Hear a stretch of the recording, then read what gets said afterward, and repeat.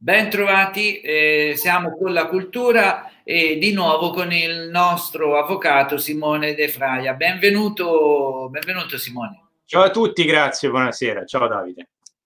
Simone, oggi parliamo della, di quella famosa battaglia che ha cambiato le sorti, dovrebbe perlomeno aver cambiato le sorti, il destino di Arezzo.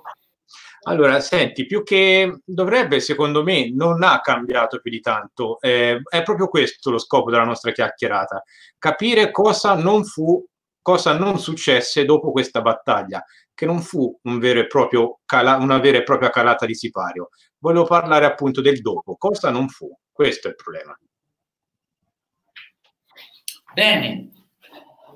Allora, e quindi abbiamo come l'altra volta le nostre foto e quindi dimmi te anche quando io devo inserirle e quindi comincia il tuo interessantissimo racconto. Vai Simone.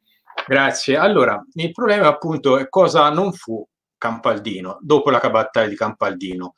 E questo discrimine che la storiografia ottocentesca, diciamo la letteratura, possiamo così, storica, eh, di fine 800 e primi 900 che purtroppo, mm, mi tocca dire, stenta ancora a morire, e che ci vuole far passare appunto come la battaglia di Campaldino come un eh, grosso discrimine prima e dopo, un po' come la vendita di Arezzo a Firenze nel 1384, prima e dopo. È innegabile che questo segnò Campaldino, la battaglia di Campaldino, la rotta di Campaldino, è innegabile che segnò un punto di, diciamo, di divisione una grossa debacle per la città, causò una serie di morti tra personaggi più illustri della città, causò tutta una serie di scompensi a livello economico, a livello militare per la città, ma eh, non è che eh, si ebbe proprio questa frattura così come la storiografia ce la vuole in qualche modo vendere o ce l'ha spacciata fino adesso. Vediamo intanto che cosa successe l'indomani, perché ormai la battaglia è, è nota, le modalità della battaglia sono note a tutti e sono conosciute dai più. L'indomani eh, del famoso sabato di San Barnaba, che poi è quello dell'11 giugno del 1289, eh, le truppe fiorentine da Campaldino eh, muovono verso Arezzo. Allora voi sapete che durante una battaglia non è che ci sono soltanto le, la schiera A e la schiera B, ma dietro eh, ogni battaglia c'è un mondo, un universo, un, un indotto che si muove appunto con i contendenti. Quindi ci saranno stati tutti i serventi, ci saranno state le, le salmerie, cioè quelli che sono gli approvvigionamenti eh, per procurare appunto da mangiare, vettovagliamento, ci saranno stati i fabbri, ci saranno stati i, i gestori diciamo di tante cose, non, non, da ultimo gestori a livello economico, ci saranno state anche le prostitute per soddisfare i soldati, ci sarà stato praticamente un mondo eh, sconosciuto che stava dietro appunto alle, alle schiere dei combattenti da un lato e dall'altra. Quindi tutto quanto l'esercito dei vincitori, in questo caso, si muove verso Arezzo all'indomani della, della, battaglia. Si accampa ad Arezzo il 24, intorno al 24 di giugno, proprio per San Giovanni, e intorno alla città, eh, alle mura della città, viene corso appunto il palio di San Giovanni. Un po' per festeggiare, ma sicuramente sono atti di dileggio, atti di spregio nei confronti dei, dei vinti e così come andremo a specificare ancora meglio. Era naturale spesso nel Medioevo che eh, attività di questo tipo, ad esempio tagliare un albero importante della città, così come fecero nel 1288 i senesi nei confronti degli aretini, tagliarono l'antico almo, albero di Olmo, eh, che dava nome appunto al, al, luogo, al valico di Olmo. Abbiamo ancora tante altre eh, tipologie di, di, di, atti di spregio fatti nei confronti degli aretini, ma anche viceversa, gli aretini verso Firenze, quando nel 1305 entrarono a Firenze, ruppero la porta di San Gallo, presero il catenaccio e lo portarono in Duomo ad Arezzo come segno di vittoria, come trofeo. E va bene, quindi i fiorentini nel 1289 si accampano presso eh, la città di Arezzo. Da quale parte si accampano? Da quella che era strategicamente più conveniente, ovvero quella dalla parte di Fionta. Perché proprio lì? Perché lì la, la cinta muraria ancora non era mh, ben definita. Prego Davide di partire con la prima diapositiva, per favore, per far vedere un po' lo schema della battaglia che si svolse qui vicino ad Arezzo, proprio alle porte di Arezzo. Allora. I nostri potenti mezzi. Eh, presumo sia questa, vero? Perfetto, grandissimo. Vedete che eh, la linea rossa indica il eh, percorso delle mura duecentesche, perché quelle tarlatesche nel 1289 ovviamente non potevano esserci, che sono di un'epoca successiva.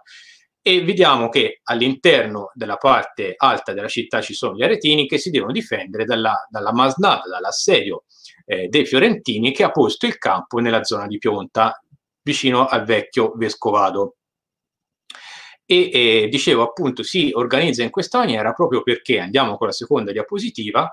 Eh, da quella parte le mura non erano state ancora completate, o meglio, erano in qualche modo presenti. No, è questa è quella, quella miniatura. Oh, eh, bella. Vediamo se ti posso Qui il nostro tecnico ecco perfetto, deve migliorare un po', comunque ce la può eh, fare. No, eh, sì, ce la posso fare. No. Io mi aggiro dietro la, la, miniatura, questa che vedete appunto sono la, è la città di Firenze, ancora da una cronaca del Villani, così eh, come è stata realizzata la miniatura, e vedete che in parte ci sono le mura di muratura di pietra e in parte ci sono gli steccati. Ecco che allora ad Arezzo ancora eh, gli steccati erano parte integrante delle mura dalla parte occidentale, quindi dalla parte di Pionta, e è lì che i fiorentini tentano di eh, fare breccia con le loro macchine. Di che cosa era dotato l'esercito fiorentino? Ce lo dice il Villani. Mi mandi la prossima, per favore. Eh, sì, qual era? Dimmeli, aiutami perché non riesco a trovare la mail. Eh? Quella di prima, l'avevo numerate. Eh, l'hai numerata, è fatto è vero, ma io questa? Questa può andare bene comunque. Ecco, i fiorentini erano dotati soprattutto di, dice il Villani, di edifici. Cosa sono i edifici? Sono delle costruzioni, degli edifici in legno, come le torri appunto in legno, eh, di cui abbiamo fatto una ricostruzione, ma che sono anche eh, indicate nel nel cenotafio Tarlati, vedete queste fortificazioni provvisorie in legno, vediamo ancora la successiva diapositiva, e anche di macchine per fare appunto il lancio di pietre, tipo i mangani e i trabucchi, che sì, venivano, benissimo, venivano in qualche modo assemblate velocemente perché sono macchine abbastanza semplici nel loro funzionamento. E con queste, ci dice appunto il Villani, che per dispetto e rimproccio del loro vescovo, cioè dell'Ubertini che era rimasto soccombente a Campaldino, i fiorentini manganavano, cioè tiravano attraverso il mangano asini appunto a dispregio eh, travestiti da vescovo, cioè con la mitria in capo, con il cappello vescovile in capo, proprio per fare che cosa? Per fare un, un dileggio, per in qualche modo prendere in giro e questa dopo prendere in giro il vescovo che era appunto morto a Campaldino.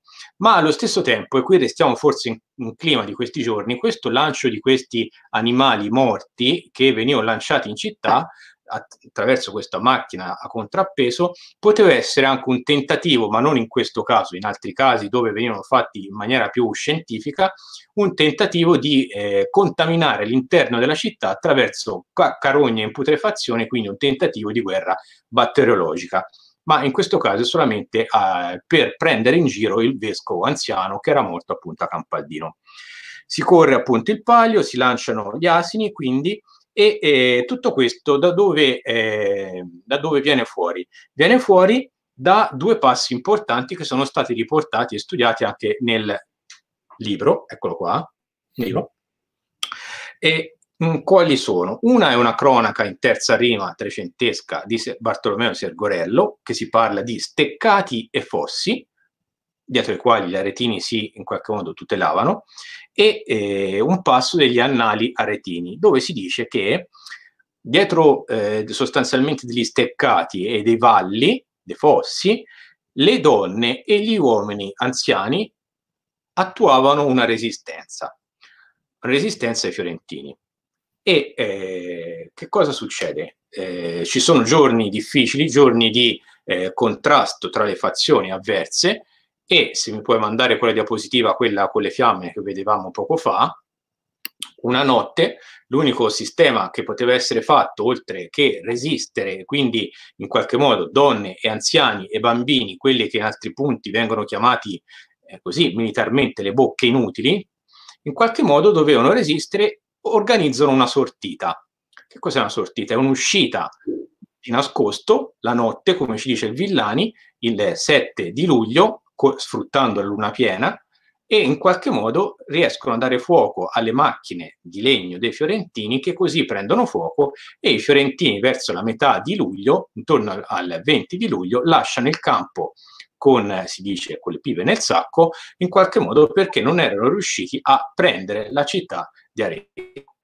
Ora, accanto a tutto questo, che cosa c'è? Questi sono i fatti storici. Questo è un assedio in piena regola che è stato svolto perché i fiorentini volevano fare il blocco della città, farla morire di fame e di sete, ma in qualche modo la città, attraverso questo stratagemma di questa sortita notturna, è riuscita a rompere questa situazione di stasi ma la letteratura di fine Ottocento ha interpretato in qualche modo questi passi che prima vi ho citato, sia la cronaca di Ser Bartolomeo di Sergorello, che eh, immaginando la città come un vecchio anziano eh, dice che era difeso estremamente dalle donne e dai vecchi attraverso degli steccati e dei fossi e da quest'altro passo degli annali aretini per cui eh, sempre si, si, sostiene appunto la difesa attraverso gli anziani. In realtà le donne e gli anziani avevano un ruolo attivo nell'assedio, avevano il ruolo di in qualche modo eh, fare, eh, attuare compiti minori sì, però ad esempio portare cura ai feriti, mh, foraggiare di, eh, diciamo, di alimenti chi ne aveva bisogno, eh, mh, trasportare via cadaveri, ma soprattutto rifornire di proiettili, quindi eh, palle da lancio, oppure frecce, oppure qualsiasi altro tipo di munizione, coloro che offrivano resistenza. Nell'Ottocento questo viene interpretato in una nuova corrente di sentire, anche se vogliamo, di uh, arretinità, non voglio dire arretinismo, ma voglio dire campanilismo, tipico di questa fine corrente di fine Ottocento che ad esempio in architettura sfocia con la reinterpretazione del Medioevo come il neogotico, il neogotico oppure il restauro stilistico. Basta vedere Piazza Grande eh, tutte le torri sono sostanzialmente dei falsi di primi Novecento con la, la, la, sopraelevazione delle merlature che un tempo, un tempo avevano, ma che non era arrivata in queste condizioni a fine Ottocento e negli anni Venti, quindi si costruisce quasi mitologicamente questa figura di questa donna eroina che insieme ai vecchi e ai bambini rimasti, poiché si ritiene che i giovani siano tutti stermin- stranamente sterminati tutti a Campaldino, resiste sulle mura retine, ma ovviamente è più una figura di creazione eh, romantica, eh, di creazione eh, filologica, tipica appunto della corrente dell'Ottocento.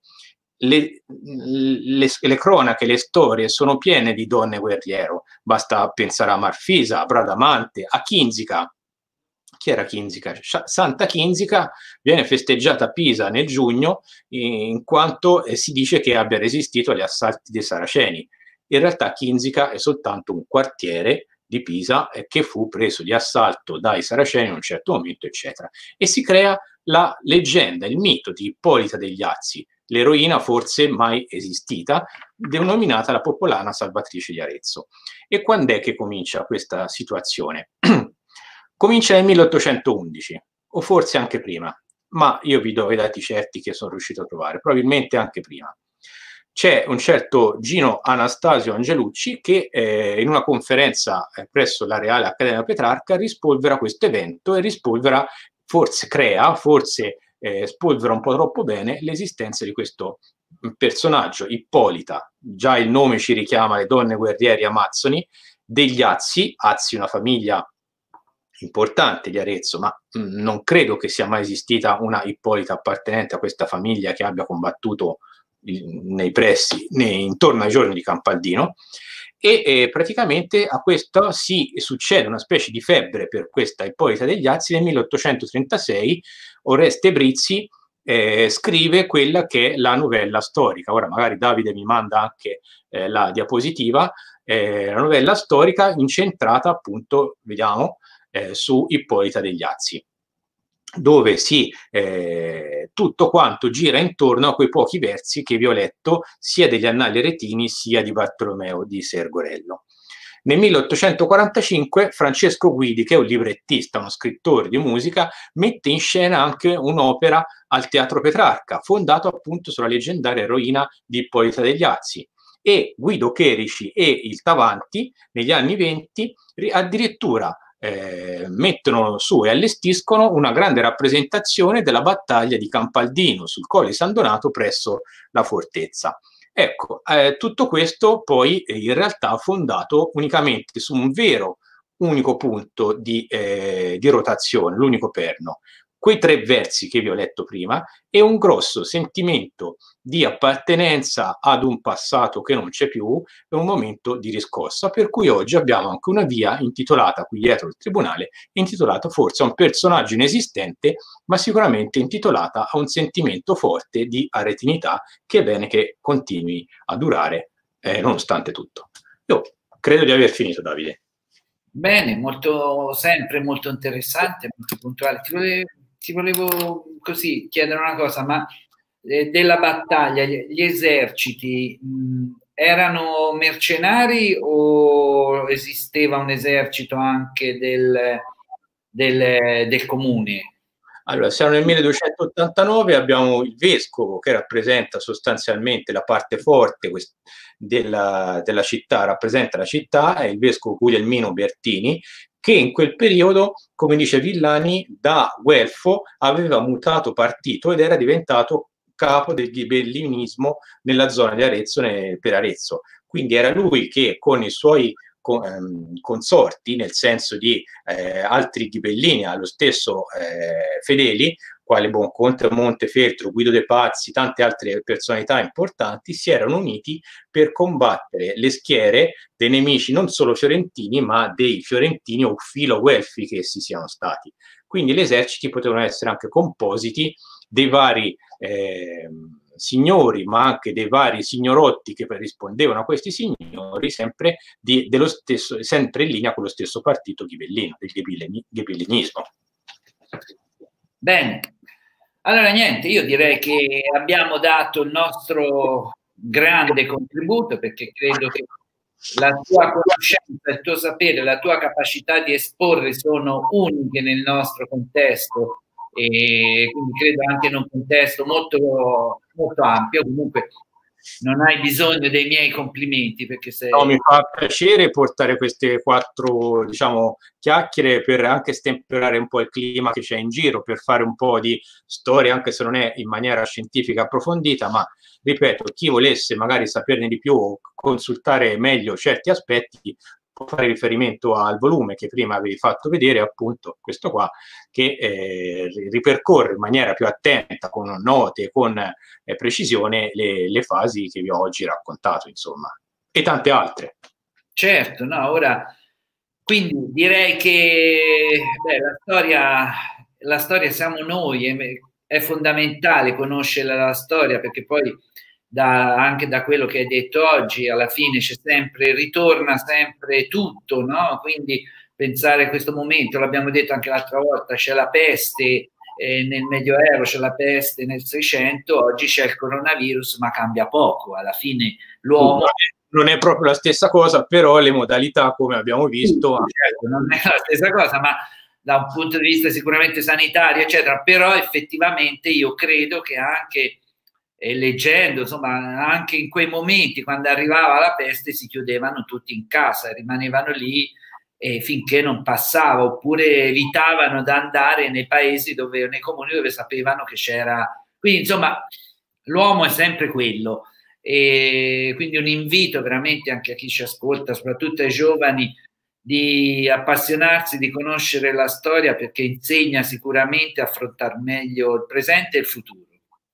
Guarda, su queste parole che sono parole che vengono da lontano, ovviamente eh, proprio oggi stavo preparando un lavoro, appunto, forse per il quotidiano La Nazione, non lo so, che eh, prende in esame alcune parole del Villani, che eh, appunto proprio dopo la peste del 1348 tutti si aspettavano un mondo diverso, un mondo migliore, visto la lezione, tra virgolette, che il buon Dio aveva dato loro, e inizia il capitolo però con amarezza dicendo come gli uomini furono peggio di prima. Speriamo che non sia così questa volta. Eh, speriamo, perché, speriamo perché intanto affrontiamola e speriamo di uscirne, poi speriamo di non diventare peggio di prima. Va bene, comunque diamo appuntamento alla prossima approfondimento che avviseremo quindi tramite Instagram, tramite tutti i nostri canali quando sarà, quindi appena sei pronto, te sai che noi siamo qui a tua disposizione per informare i nostri okay. ascoltatori. Grazie signora De Foglia, grazie e arrivederci a tutti e alla prossima occasione. Grazie.